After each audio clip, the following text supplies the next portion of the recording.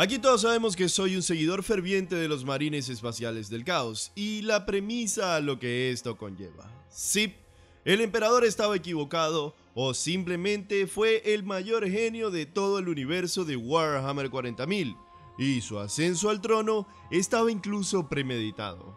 Porque todos sabemos que el emperador de la humanidad era un ser frío, distante y profundamente calculador. Si bien todo el rollo de los dioses del caos me es bastante vomitivo porque es cambiar sencillamente a un embaucador por otros, es decir, al emperador, un tirano a nivel galáctico que no le temblaba el pulso al momento de exterminar a cualquiera que estuviese en desacuerdo con él, por los dioses del caos, unos seres más allá de la comprensión humana que solo buscan su beneficio, utilizando todo aquel que puedan como marioneta. Es contigo, Horus Lupercal y Magnus. En este universo ya sabemos que es sumamente común el lavado cerebral y el sesgo de razonamiento. Pero, hey, eso es lo divertido de todo esto. En fin, que yo sé que estoy un poco filosófico, pero ya saben que al momento de hacer un video me gusta hacer estas breves reflexiones para que sea más divertido. Hoy estaremos hablando de algunas curiosidades o puntos críticos del códex de décima edición de los Marines Espaciales del Caos. Así que bueno, como siempre, recuerden que esto es el Rincón de Marco. Y yo, Marco, estaré a cargo de la narración en esta ocasión. No olviden suscribirse, comentar, activar la campanita y estar atentos a nuevas entregas del canal. Comencemos y que viva el caos absoluto. 1. No solo la carne de los marines espaciales del caos se fusiona con su armadura, sino que sus mentes también se funden con los espíritus máquinas de su equipamiento. La armadura de un marín espacial del caos mutará y será remodelada por la mancha de la disformidad para reflejar sus obsesiones y su afinidad o lealtad a los dioses del caos que sigan. Así pues, un marín espacial del caos que tenga afinidad con Norgal podrá ver cómo su armadura comienza a albergar a seres vivos, o incluso su propio cuerpo será huésped de todo tipo de alimañas. El mejor ejemplo de esto es Typhus. 2. Después de la Gran Purga y el exilio al ojo del terror, ninguno de los primarcas que habían caído al caos estaba interesado en unificar a las legiones traidoras. Por ejemplo, Mortarion y Lorgar evitaron el espacio real. Mortarion se dedicó a remodelar su mundo demoníaco para convertirlo en una imagen y semejanza de su antiguo planeta natal Barbarus. Lorgar se autoexilió al mundo demoníaco de Sicarus. Magnus centró su atención en curar a su legión de su maldición de mutación. Fulgrim, bueno, se perdió en una espiral de excesos y placer. Perturabo se centró en su venganza con los puños imperiales, en lugar de en la búsqueda de una gran conquista. Y así, sin un líder unificador, las legiones traidoras se fragmentaron por las luchas internas y los crueles caprichos de los dioses del caos. Ya les digo yo que son bien traicioneros esos hijos de puta. 3. Cuando Abaddon se alzó como señor de la guerra del caos, juró aprender de los errores de su padre genético Horus Lupercal. Se prometió a sí mismo no doblar nunca la rodilla ante los dioses del caos y no vender jamás su alma a ellos, por tentadoras que fueran las ofertas de poder. Abaddon se negó a renunciar a su moralidad a cambio de poder inmortal. 4. La decimotercera cruzada negra no ha terminado aún. Está alcanzando su clímax en la era Indomitus. Aunque Cadia ha caído, la guerra por la puerta cadiana continúa más sangrienta y devastadora que nunca. Además, Abaddon está expandiendo su frente de guerra en otros lugares, como el guantelete de Nakmund. Estos son solo algunos de los planes que Abaddon pretende llevar a cabo para derrocar al imperio. Si Abaddon tiene éxito en ellos, entonces el poder del caos se desatará desde la urdimbre hasta la propia Terra. 5. Con cada conquista, Abaddon pavimentaba un camino hacia Terra. Sin embargo, lo que era desconocido para el resto de la galaxia era su plan de destruir el velo entre el espacio real y la disformidad. Durante miles de años, al amparo de falsos objetivos e incluso de cruzadas negras enteras, Abaddon buscó y destruyó los pilones allí donde los encontró. A veces lo hacía personalmente, otras a través de sus agentes o utilizando el revientaplanetas y las fortalezas de piedra negra. Abaddon además no solo es temido por los altos señores de Terra, en los salones de los mayores imperios senos de Warhammer 40.000, el nombre del Señor de la Guerra es uno que sin lugar a dudas invoca miedo y terror por igual. 6. La caída de Cadia fue la culminación del gran plan milenario de Abaddon, un plan que unía los acontecimientos de Pandorax, el asedio de Fenris y otros. La gran grieta había nacido, inundando la galaxia con la materia de la disformidad. Actuando como su vanguardia, las legiones traidoras y las bandas de guerreros renegados se abrieron paso a través de la puerta cadiana y emergieron al otro lado. Las fuerzas traidoras llevaron la destrucción y el derramamiento de sangre a un mundo tras otro, potenciando la urdimbre y provocando que las legiones demoníacas siguieran su estela. Invasión tras invasión, la senda carmesí se expande hacia Terra. 7. Los dioses del caos y sus legiones creen que la caída de Terra y la destrucción del emperador sería el premio final, la conclusión de la guerra entre el Materium y el Inmaterium. Sin embargo, la caída de Terra es una parte del plan de venganza de Abaddon, no el final. Abaddon es consciente de que la victoria final de los dioses del caos sería mala para su ser mortal, así que no tiene intención de depender de los dioses del caos para lograr la victoria que busca. Por ahora, Abaddon se conforma con que las fuerzas del caos se abran camino hacia Terra. 8. En la era de la Gran Grieta, las fuerzas del caos merodean por las estrellas en cantidades nunca vistas desde la herejía de Horus, ni más ni menos. Ni siquiera el Imperium Sanctus está a salvo de su ira. Sin embargo, es en el Imperium Nihilus donde son más fuertes. Aislados unos de otros y privados de la luz de Terra, los bastiones apartados del Imperium Nihilus están siendo asediados por las fuerzas del caos desde dentro y desde fuera. Los desbordados defensores del Imperio siguen intentando valientemente frenar las abrumadoras mareas del caos, entre ellos Dante y el primarca Lionel Johnson, que ha regresado y está enfurecido contra la oscuridad que lo rodea. Sin embargo, sus esfuerzos no son más que gestos inútiles, velas de esperanza ante un infierno de odio recalcitrante y sin fin. 9. Gilliman lanzó la cruzada Indomitus para salvar al imperio del colapso, pero ni siquiera este colosal conjunto de poder imperial puede repeler todas las incursiones del caos. Los conflictos están estallando en cada segmentum del imperio, y en cada uno de ellos se puede sentir la influencia de Abaddon el saqueador.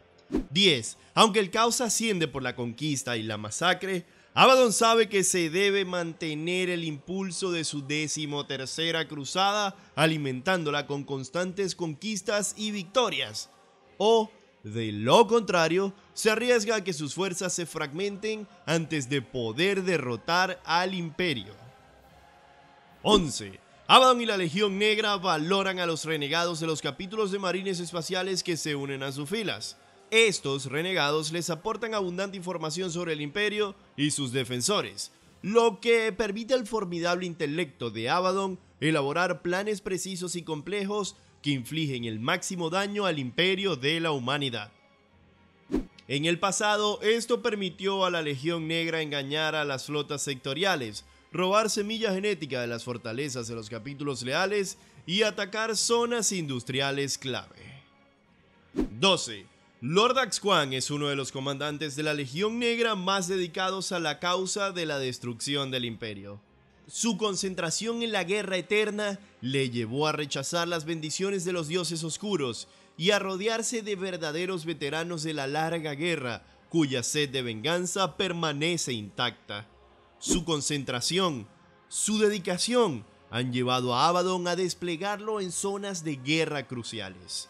Actualmente está sirviendo en el sistema acadiano, purgando los últimos reductos imperiales. 13. Solomon Acurra, el personaje de la novela Harrow Master de Mike Brooks, aparece mencionado en el códex. Acurra se había hecho con el control de la banda de guerra de los dientes de serpiente, y ahora comanda el fuerte estelar móvil de lo invisible. Ha reunido a su alrededor una alianza de bandas de la Legión Alfa, a las que ha bautizado como la Legión Fantasma. En su ardiente deseo de llevar la lucha al imperio, se aprovecha del lamentable estado de este para aumentar su miseria. Utilizando su mente estratégica y las siniestras habilidades de la Legión Alfa, Acurra ha engañado a sistemas enteros para que juren lealtad a la Legión Fantasma, desestabilizando aún más al imperio. La mayor parte del subsector Cyphos está ahora bajo su dominio. Sin embargo, esto no es más que el comienzo de las semillas de la anarquía que plantará en el Segmentus Pacificus. 14. Cuando se abrió la Gran Grieta, las tres estrellas y un sistema cercano al núcleo galáctico y limítrofe con los territorios de la Gran Liga Turiana fueron engullidas por la tormenta disforme en expansión conocida por los familiares como Orkvair. El aumento de la energía disforme provocó que el trío de estrellas se convirtiera en un supernova al mismo tiempo, creando una nebulosa de nubes contaminadas de restos astrales plagada de grietas disformes que sirvió de refugio a muchas bandas del caos, incluida una banda de los guerreros de hierro conocida como la Garra de Abrial. Los decididos guerreros de hierro se dedicaron a asediar las poderosas fortalezas de los Votan y varias han caído ante ellos. 15. Las flotas traidoras no temen a las furiosas mareas de la urdimbre. Navegan a través y desde incluso los corazones de las tormentas disformes. La notable facilidad con la que los herejes navegan por la turbulenta urdimbre hace parecer que las manos de los dioses del caos les protegen, mientras emergen sobre sus mundos presa. Dentro de la oscuridad del Imperium Nihilus, los traidores han llevado a cabo carnicerías y atrocidades de proporciones épicas en los mundos aislados del imperio. Las víctimas más afortunadas son con las que acaban rápidamente. Los que sobreviven se enfrentan a un destino mucho peor que la muerte a manos de los herejes. 16. El aislamiento de los territorios imperiales en el Imperium Nihilus hizo creer a muchos mundos y sistemas imperiales que eran los últimos de la humanidad. Algunos se separaron del dominio imperial y se transformaron en sus propios reinos y naciones. El declive de la fe imperial pronto hizo que estos reinos y mundos independientes se pudrieran desde dentro hacia afuera, a medida que los insidiosos susurros de los demonios se extendían entre la población y florecían los cultos al caos. 17. Imperios traidores se alzan en el Imperium Nihilus. Mundos que una vez sirvieron al imperio ahora alimentan a las bandas de guerra y las legiones del caos con sus recursos y su industria. Abaddon tiene algo que ver con la creación y ubicación de algunos de estos imperios heréticos. Se desconoce si estos imperios forman parte de algún plan suyo o son simplemente una visión de una galaxia bajo su dominio. 18. Los orígenes de Bashtor son desconocidos, olvidados por la historia. Es posible que fuera creado por los avances tecnológicos y científicos de la edad oscura de la tecnología, engendrado por la tecnología de formación de galaxias de los antiguos, o que surgiera cuando los primitivos dominaron por primera vez el fuego y crearon las herramientas afiladas. Nadie está totalmente seguro, pero leo sus opiniones en la caja de comentarios. Por otro lado, Bastor y Perturabo mantienen entre sí una relación beneficiosa, pero poco amistosa. Han cooperado en muchos proyectos de pesadilla. El primarca demonio ha aliado regularmente a sus bandas de guerreros de hierro con el arquífice. 19. Roca Infame es un planeta artificial y mundo demoníaco creado por Bastor el Arquífice, a partir de ruinas y artefactos del destruido Caliban, recogidos a lo largo de toda la campaña de las Arcas del Augurio. Se trata de un planeta móvil creado por el semidios de la Forja de las Almas para poder moverse a través de la telaraña gracias a la combinación de tecnologías arcanas muy anteriores al imperio de la humanidad. Este planeta es parte de un gran plan de Bashtor, la llave que le permitirá la ascensión y convertirse en el quinto dios del caos. Incluso los Azuriani, enfurecidos por la corrupción de la tecnología de la vía de la telaraña y temerosos del daño que Roca Infame infligirá a los túneles de la vía de la telaraña, tienen dificultades para localizar al planeta artificial. Sus videntes son incapaces de descifrar el código del demencial patrón de búsqueda de Bashtor. Solo el mundo astronave Altanzar, debido a su amarga experiencia con la disformidad y su mutilación de la realidad, está haciendo progresos en el rastreo de Roca Infame. Sin embargo, hasta ahora los esfuerzos de los Azuriani por atraer a Bashtor a la batalla se han saldado con un fracaso estrepitoso. Finalmente los informes apuntan a que Roca Infame está a punto de aparecer en el Nexo Paria. Otros informes apuntan a que aparecerá en las estrellas necrófagas. Lo que es seguro es que ningún lugar está a salvo de la ira de Bashtor el Arquífice. 20. Bashtor es un ser intemporal. El tiempo lineal le es indiferente. Aunque los esfuerzos de sus enemigos pueden retrasar su búsqueda, tarde o temprano tendrá su premio. Por otro lado, Bashtor tiene un control casi ilimitado sobre la tecnología. La naturaleza y el origen de la tecnología no importan a Bashtor, su comprensión no tiene límites. El arquífice puede deshacer o tomar el control de cualquier dispositivo creado por manos mortales con un simple gesto. Así de sencillo. 21. El Mechanicum Oscuro proporciona a las huestes del caos armaduras, armas, ingenios demoníacos e incluso flotas de combate. Sin el Mechanicum Oscuro, los ejércitos del caos se paralizarían gravemente.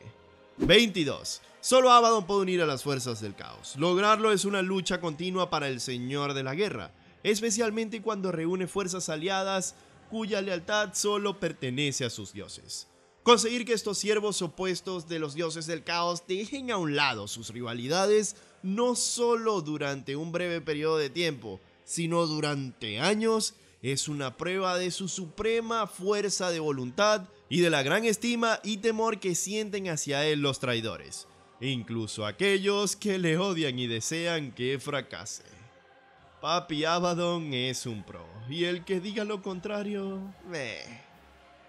23. Los guerreros de hierro honran a los dioses del caos como panteón, aunque pocos de ellos realmente son devotos. Su verdadera lealtad pertenece a su primarca demonio, el Chat Perturabo, a quien creen que le salvó la vida de ser sacrificados por el emperador. 24. Muchos caudillos del caos desprecian los métodos de la Legión Alfa, pero Abaddon no. Abaddon aprecia sus habilidades y hace buen uso de ellas. Más de una vez, el caudillo empleó a la Legión Alfa para sembrar la discordia y la anarquía ante sus flotas invasoras. Sin embargo, Abaddon sabe que la Legión Alfa son aliados peligrosos, ya que sus objetivos y verdaderas motivaciones son secretos muy bien guardados. 25. A pesar de la repulsión y la desconfianza que Abaddon siente hacia los portadores de la palabra, por recordarle las vergonzosas profundidades en las que cayó Horus Lupercal en su adoración a los dioses del caos, hace causa común con ellos en muchas ocasiones. La eficacia de los portadores de la palabra como guerreros poseídos o no es algo que el Señor de la Guerra no puede negar. Es una fuente de fuerza que no puede permitirse descartar. Lorgar, por su parte, ve a Abaddon como una herramienta para extender la palabra de los poderes ruinosos hasta el mismísimo corazón del imperio. 26. La mayoría de los amos de la noche no parecen adorar a los dioses del caos en el mismo grado que las otras legiones traidoras. Luchan solo por el beneficio material y el placer personal. Desprecian a los fanáticos, ya sean adoradores de los dioses oscuros o del falso emperador por igual no depositan su respeto en la fe, sino en la fuerza, la fortaleza y el terror. Por tanto, los amos de la noche lucharán por cualquier causa siempre que el botín sea bueno y tengan amplias oportunidades de infligir tanto daño como sea posible, derramando toda la sangre y angustia que se pueda. Esto hizo que algunas bandas de los amos de la noche se comprometieran a servir a señores de la guerra alienígenas. 27. En los últimos años, Fabius ha adquirido muestras de los primaris y los custodes. Se desconoce qué pretende hacer con ellas. Además, se sabe que Fabius Bill hace negocios incluso con su primarca Fulgrim. Para este marín traidor nada es gratis y no tiene lealtad o apego hacia ninguna entidad o ser mortal del universo de Warhammer 40.000. Y ya está, este fue otro video del Rincón de Marco. Como siempre, mis redes las vas a encontrar en la caja de información. Comenta para alimentar el algoritmo, dale like, suscríbete y está atento a nuevas entregas. Esto ha sido El Rincón de Marco y nos vemos en la próxima ocasión. ¡Chao!